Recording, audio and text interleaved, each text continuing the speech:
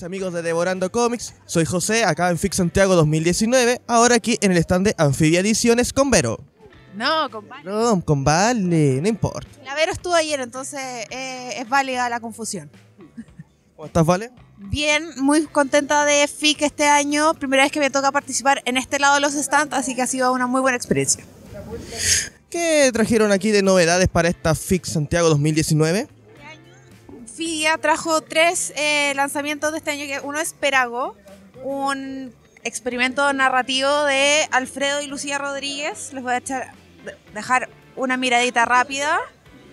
Tenemos colores y tenemos una historia.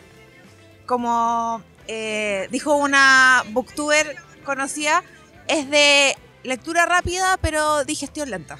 Así que ese fue uno. El otro es Maimai Chiñol, que es de Andrés Rodríguez. Ustedes saben, Anfibia y los hermanos Rodríguez son uno. Y también una historia más eh, para el público infantil, muy linda. Y el último es El Sentimiento 4 de Alfredo Rodríguez. Ustedes ya saben.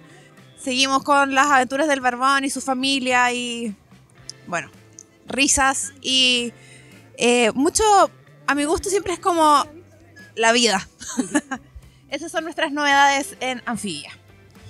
¿Cómo ha sido la recepción del público en esta edición de la Fix Santiago? ¿Por qué título es el que más han preguntado para Anfibia? Eh, yo creo que ha estado súper diverso el público. Ayer vino mucha, mucha gente, hoy día está un poquito más tranquilo.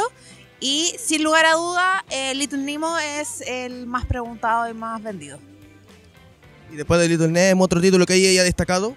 Ha destacado Sótano y Mateo sin risas de Lavero. Eh, eso es como mucho. Y el Sentimiento 4. Que mucha gente llega y dice, oh, este es nuevo, me lo llevo para tener los cuatro completitos. Bien, ¿cómo ha sido en tal momento ya esta experiencia y de editar cómics en Chile ya con un tiempo aquí? ¿Cómo ha sido la experiencia? Eh, yo estoy recién partiendo en, eh, acá en la editorial como editora, pero yo creo que es, eh, es difícil. Es difícil, eh, y no solo cómics, sino que cualquier tipo de libro para eh, la industria editorial. La gente tiene como una confusión de, al momento de valorar el libro, que es muy caro, que quítale el IVA, no sé qué, y es un tema cultural que tenemos que ir como trabajando y enseñando. Ya para ir cerrando, ¿vale? ¿Qué mensaje le darías a la gente ahí para que se acerque a Anfibia, vea los títulos? ¿Qué mensaje usted le daría? Vengan, síganos en las redes sociales, en nuestra web van a encontrar todos nuestros títulos, estamos, somos muy variados y queremos no solo que vean nuestros títulos, sino que difundir todos los títulos y a todos los creativos y a todos los autores. Así que síganos en nuestras redes sociales. Bueno, amigas y amigos de Devorando Comics, esta fue nuestra nota aquí con Anfibia Ediciones y vale. Un gusto y abrazos. Chao, que estén bien. Hola amigas y amigos de Devorando Comics, soy José y estoy aquí con los amigos de Brotherhood, que tenemos distintos lanzamientos para esta Fix Santiago 2019. Dejaré que se presenten con sus respectivos títulos.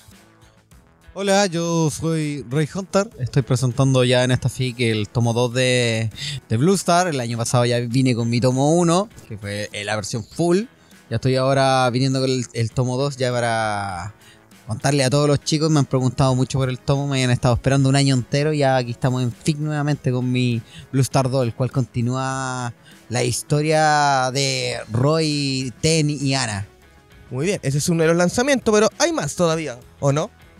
Eh, hola, buenas, yo soy Matías Jacon y este año vengo con Axel Rudo, el libro de edición eh, full, donde ya hay más de 120 páginas de la aventura.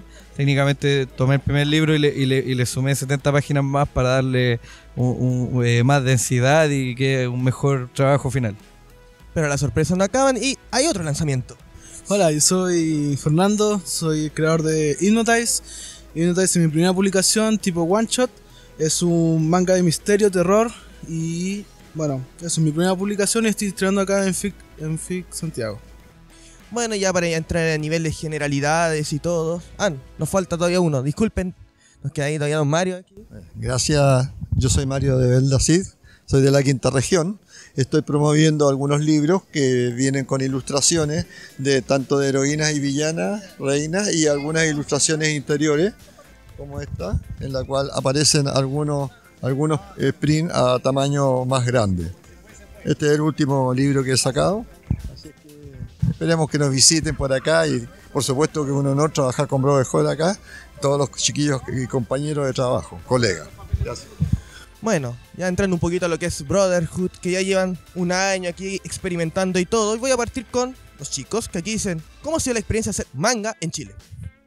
Oh, bueno, mangas en Chile ha sido bastante complicado, eh, ya que bueno, la- la- a la gente le, le costó un poco tomar el libro y decir, ¿sabes? Sí, me gusta, ya que se da mucho más, la gente va y prefiere mucho más el cómics, pero ya las personas que eh, apostaron por ir y leer Blue Star, les ha encantado, lo han recibido súper bien, esas personas me piden más todo el tiempo, me están mandando cosas, me están mandando dibujos, ha sido súper bien recibido. Ya con el tomo 2, la gente, claro, ya que compraron el tomo 1, están incluso más contentos ya que ven que el proceso continúa, ya que muchas veces las personas que van y hacen un tomo eh, que va continuando no, no terminan de completarlo y ellos ya se dieron cuenta que hay un compromiso de verdad de mi parte y que ya vamos en el tomo 2 y ya se está realmente haciendo el tomo 3 ya para poder eh, estar en Fix, en Fix, en la próxima Fix y ya estar con el trabajo número 3 de Blue Star.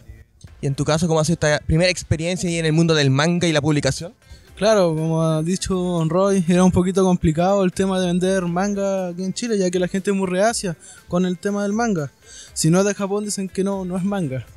Entonces, pero la experiencia que he tenido con Minotails es buena. He vendido bastante ya eh, fanzine y la ha ido súper bien. En Comic Con vendí mucho y fue el lanzamiento principal, donde vendí 25 de una al tiro. Fue bastante buena experiencia. Bueno, vamos un poquito ahora a Matías con otro estilo más cartoon, ¿cierto? ¿Cómo ha sido esa ya de volver un poquito a los clásicos, al viejo, al viejo cartoon siempre querido? Bueno, eh, con Axe quise lograr, después de hacer harto autoanálisis, vi, eh, probé también como mucho, empecé dibujando manga y todo el tema, pero dije quiero darle una identidad más propia, más personal a mi libro y, tomé recursos del cartoon, me gusta mucho la novela épica, eh, Hora de Aventura, El Señor de los Anillos, tomé y mezclé todo esto para sacar el libro de Axe, pero la forma narrativa es rápida, es similar al manga, pero aún así el cómic está hecho como cartoon, como atractivo visualmente, con exageraciones en los rostros, con, con todo el tema, eh, como dinami- el dinamismo que le entrega el cartoon y lo mejor del manga. Y por último, ya para ir viendo esto, ¿cómo ha sido, Mario, esta actitud de tomar personajes conocidos de la cultura popular e ilustrarlos desde tu punto de vista? ¿Cómo ha sido la recepción de la gente a estas versiones? Mira, eh, ha sido bastante efectiva la recepción. Eh, la verdad es que he tenido que cambiar un poquitito yo lo que es mi, mi trabajo en cuanto a ilustración, porque lo mío es tradicional, tú como puedes observar.